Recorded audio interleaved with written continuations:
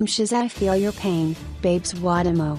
Mzansi was stunned when news broke on Metro FM that Babes Wodumo's ex-fiancé Mampintsha had allegedly abused her. During a radio interview with Metro FM presenters Masechaba Ndlovu and Mo Flava on Friday, Babes told shocked listeners of the physical abuse she allegedly suffered at the hands of West Ink boss Mampintsha. He responded to Babes' claims in a statement. No man has the right to abuse a woman. Like any human being in a relationship, I may have been overwhelmed by emotions and overreacted, it read. As for the accuracy of the abuse claims, the build up to the interview, the motive and the timing, that is a matter I will leave to fate. Nothing is what it seems.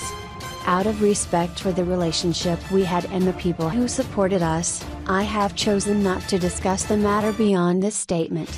Yesterday, Kwaito musician Mshoza wrote a letter of support to Babes.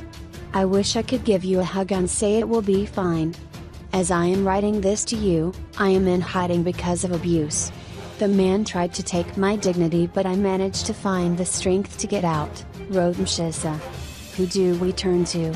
I know how hurt you are. Talking about abuse is not an easy subject. Last week Daily Sun published an article about how husband Thuthu Kanimbula took to social media to reveal how bad their marriage was. Although he deleted the status message shortly after posting it, the pictures were on Facebook long enough for all to see. He boasted about ruining her wardrobe and setting her clothes alight.